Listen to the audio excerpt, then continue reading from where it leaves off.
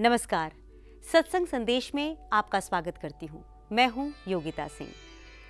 दुख में सुमिरन सब करे, सुख में करे न कोई जो सुख में सुमिरन करे तो दुख काहे को होए? हम मनुष्यों की प्रवृत्ति बहुत आत्म केंद्रित होती है।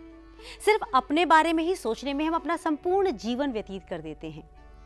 प्रभु के बारे में तो हम तब सोचते हैं जब हमें कोई दुख या कोई समस्या घेरने लगती है।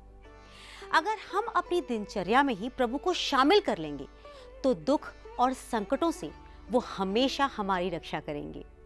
हमारे इस कार्यक्रम का मकसद भी आपको आपके आराध्य के साथ जोड़ना है। आज सत्संग संदेश में हम आपको सुनाएँगे भोलेनाथ और माँ पार्वती की एक अद्भुत कथा। उसके बाद आपको स्वस्थ रहने के लिए देंगे आयुर्वेद से जुड़ी जानकारियाँ।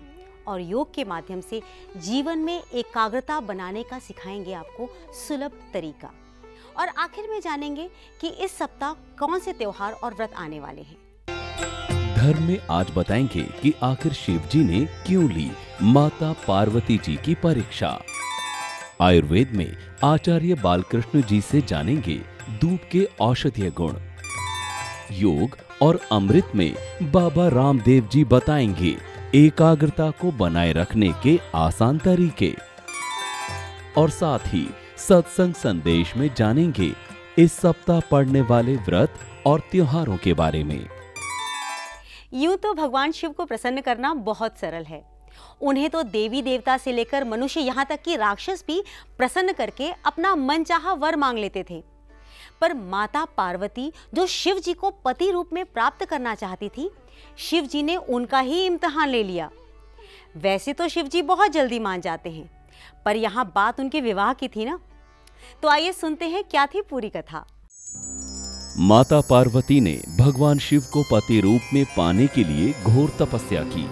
यूँ तो शिव जी उनकी तपस्या से प्रसन्न हो चुके थे, किंतु आश्वस्त नहीं थे।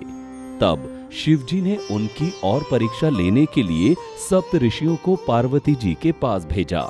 सप्त ऋषियों ने शिव जी के सैकड़ों अवगुण गिनाए, पर पार्वती जी को महादेव के अलावा किसी और से विवाह करना मंजूर नहीं था।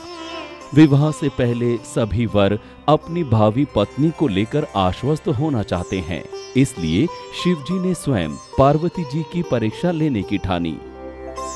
भगवान शंकर प्रकट हुए और पार्वती को वरदान देकर अंतर ध्यान हुए, जहाँ वो तप कर रही थी। वहीं पास के तालाब में मगरमच्छ ने एक लड़के को पकड़ लिया। लड़का जान बचाने के लिए चिल्लाने लगा। पार्वती जी उस बच्चे की चीख सुनकर तालाब पर पहुँची।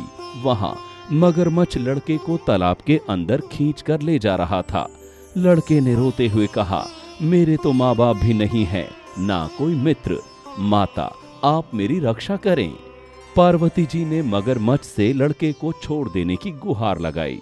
मगरमच्छ बोला, दिन के छठे पहर में जो मुझे मिलता है, उसे अपना आहार समझकर स्वीकार करना मेरा नियम है। पार्वती जी ने विनती की, तुम इसे छोड़ दो, बदले में तुम्हें जो चाहिए वो मुझसे कहो। मगरमच्छ बोला, एक ही शर्त पर मैं इसे छोड़ सकता हूँ। यदि आप अपने तप का फल मुझे दे सकें तो मैं इसे छोड़ दूँगा। पार्वती जी बिना समय गंवाए तैयार हो गई। मगरमच्छ ने समझाया कि हज़ारों वर्षों की तपस्या का फल सिर्फ़ एक अनजान बालक के लिए व्यर्थ करना हितकर नहीं है, पर माँ पार्वती अपने वचनों पर अडिग रही। मगरमच्छ ने पार्वती जी से तप दान करने का संकल्प करवाया। तप का दान होते ही मगरमच्छ का देह तेज से चमकने लगा। उसने फिर चेताया माता पार्वती को कि अगर वो चाहे तो अपनी भूल सुधार सकती हैं।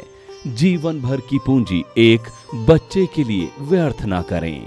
पार्वती जी ने कहा कि तब तो पुनः कर सकती हूँ, किंतु यदि तुम इस लड़के को निगल जाते तो क्या इसका जीवन वापस मिल जाता? देखते ही देखते वो लड़का और मगरमच्छ लुप्त हो गए। पार्वती जी ने फिर से तप करने का विचार किया, क्योंकि अपने तप के फल का दान कर चुकी थी। भगवान शिव प्रकट होकर बोले, पार्वती तुम्हें पुनः तपस्या करने की आवश्यकता नहीं है, क्योंकि मगरमच्छ और लड़के दोनों रूप में मैं ही था। तुम्हारा चित्त दूसरों के प्रति सुख दुख का अनुभव करता है या नहीं? इसकी परीक्षा के लिए ये लीला रची, तुमने अपना तप मुझे ही दिया है, इसलिए अब और तप करने की ज़रूरत नहीं। माँ पार्वती की तपस्या से प्रसन्न हो शिवजी ने उनसे ही विवाह करने का विश्वास जताया और फिर अंतर ध्यान हो गए। हमारे ग्रंथों में कई ऐसे अद्भुत प्रसंग हैं जिनका श्रवण करना बेहद रुचिकर लगता है। शिवजी और माता पार्वती की इस लीला के पश्चात, चलिए आपको स्वस्थ रहने के सरल नुस्खे जानने के लिए ले चलते हैं विख्यात आयुर्वेदाचार्य बालकृष्ण जी के सानिध्य में, जहाँ आज वो हमें दूब के औषधीय गुणों से अवगत करवाएँगे। हिंदू संस्कृति के हिसाब से जिसको बहुत पवित्र माना जाता है, पूजा में भी उसका प्रयोग किया जाता है, जिसको हम जानते हैं दूरबा दूरबा यानी दूब घास। दूब घास के नाम से हम इसको जानते हैं। इस तरह की जो दिव्य घास है, ये आनंददायक घास है। सुबह सुबह यदि आप नंगे पैर इस घास पर घूमते हैं तो उससे आपकी आँखों को मिलेगी रोशनी, उससे आपकी स्नायु को मिलेगी ताकत। और आप देखते हैं, जब इस घास में जब ओश पड़ी होती है, कितना सुंदर लगता है। छोटे छोटे भगवान ने जैसे मोती बिखर रखे हों, बहुत ही आनंद आता है, बहुत ही अच्छा लगता है। तो सिर्फ़ चलने मात्र से नेत्र ज्योति बढ़ती है और यदि आपको हमेशा सर में एक जो स्ट्रेस लेवल बढ़ा हुआ है, तनाव बढ़ा हुआ है तो उसके लिए एक इसका बहुत ही दिव्य प्रयोग है, बहुत अच्छा प्रयोग है। यदि आप दुब घास को पीस करके यदि पैरों में लगा लेते हैं तो उससे जो मस्तिष्क के अंदर जो उथल पुथल है, जो टेंशन है, स्ट्रेस लेवल बढ़ा हुआ है, उसमें भी इससे लाभ हो जाता है।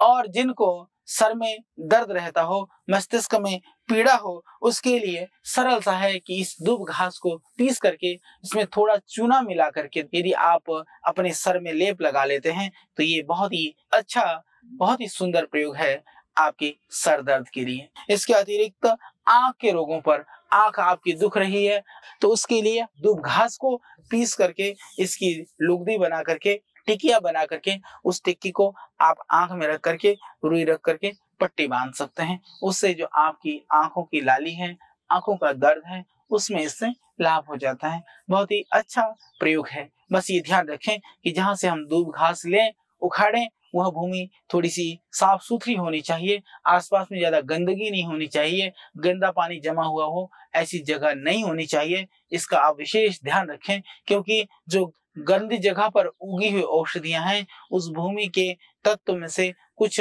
उसके अंदर दूसरे जो औषधीय गुण हैं, उनकी न्यूनता होती है। कहीं दूसरी तरह के इन्फेक्शन ना हो, इसके लिए अच्छी तरह से धो करके आप इसका प्रयोग करें। आपको ये जानकर ताज्जुब हो रहा होगा कि दूब में भी औषधीय गुण हैं, जबकि अब तक तो हम दूब का उपयोग पूजा पाठ में ही किया करते थे। वाकई प्रकृति ने खुले हाथों से अपनी संपदा हमें दी है। इसका इस्तेमाल कैसे करें, ये देखने वाली बात है। आयुर्वेद के बाद बात करते हैं योग की। जीवन के किसी भी क्षेत्र में सफलता पाने के लिए एकाग्रता का होना बेहद आवश्यक है। लेकिन कई बार बहुत कोशिशों के बाद भी कंसंट्रेशन यानी एकाग्रता नहीं बन पाती। इस समस्या के समाधान के लिए आइए जानते हैं योग अमृत में स्वामी रामदेव जी से कि क्या करें एकाग्रता बढ़ाने के लिए। भूलने की बीमारी मेमोरी लॉस की प्रॉब्लम उम्र बढ़ने के साथ अक्सर सभी इसके शिकार हो जाते हैं। किसी किसी बच्चे की भी मेमोरी वीक होती है। उनका आई क्यू लेवल कम होता है, एकाग्रता भी कम होती है। भस्त्रिका कपाल भाती से लेकर के अनुलोम विलोम भ्राम्र उद्गीत सभी ये जो प्राणायाम हैं, ये कंसंट्रेशन को बढ़ाते हैं, आई क्यू लेवल को बढ़ाते हैं। इसलिए भस्त्रिका प्राणायाम बच्चों को भी दो मिनट, बड़ों को पाँच मिनट, कपाल भाती प्राणायाम दस पंद्रह मिनट सबको करना चाहिए। फिर अनुलोम विलोम प्राणायाम, ये भी दस से पंद्रह मिनट करना। फिर हो सके तो बाह्य प्राणायाम भी कर लेना और गले थायराइड के लिए उज्जाई प्राणायाम करें तो बहुत अच्छी बात है। आँखें बंद करके आप 10 मिनट कपाल भाती 10 मिनट अनुलोम विलोम और पाँच से दस ग्यारह बार तक ब्रह्मरुद्र गीत प्राणायाम कीजिए। मैग्नोलोस की प्रॉब्लम से आप पूरी तरह से मुक्त हो जाएँगे। मस्तिष्क ज़्यादा ही वीक है तो आप मेधावटी एक एक गोली सुबह शाम ले सकते हैं। ज़्यादा ही मस्तिष्क में दुर्बलता है तो आप दो दो गोली भी खा सकते हैं। बादाम रोगन आप ले सकते हैं दूध के साथ। बादाम आप रात को भिगो के सुबह खाली पेट ले सकते हैं। अखरोट आप खा सकते हैं। बादाम और अखरोट मस्तिष्क के लिए बहुत अच्छे होते हैं। अमृत रसायन का सेवन कर सकते हैं। ब्राह्मी शंखपुष्पी का पाउडर भी आप सुबह शाम एक एक दो दो ग्राम ले सकते हैं। ज्योतिषमती माल कांगनी उसको बोलते हैं। उसके भी दो तीन बीज जो है, वो आप पाउडर करके ऐसे दूध या पानी के साथ ले सकते हैं। वचा आयुर्वेद में मस्तिष्क के लिए बहुत अच्छी होती है। उसका भी एक दो ग्राम जो है पाउडर आप दूध या पानी के साथ ले सकते हैं। गाय का दूध और गाय का घी, ये मस्तिष्क के लिए बहुत अच्छा होता है। मेमोरी लॉस के लिए भी बहुत उपयुक्त है ये। ध्यान करने से श्वासों के ऊपर ध्यान करने से आपकी मेधा शक्ति प्रबल होती है। तो प्राणायाम और ध्यान ये कंसंट्रेशन को बढ़ाने के लिए आई के लेवल को बढ़ाने के लिए मेमोरी को शार्प करने के लिए बहुत ही महत्वपूर्ण होते हैं। अब बात करते हैं इस सप्ताह में आने वाले व्रत और त्योहारों की जो हमारे जीवन को उल्लास से भर देते हैं। 22 जुलाई प्रथम सावन सोमवार व्रत 23 जुलाई मंगला गौरी व्रत 28 जुलाई कृष्ण एकादशी।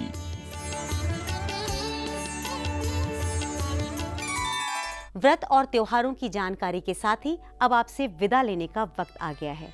आपसे अगले सप्ताह फिर मिलेंगे और साझा करेंगे धर्म, आध्यात्म और स्वास्थ्य की जानकारियाँ।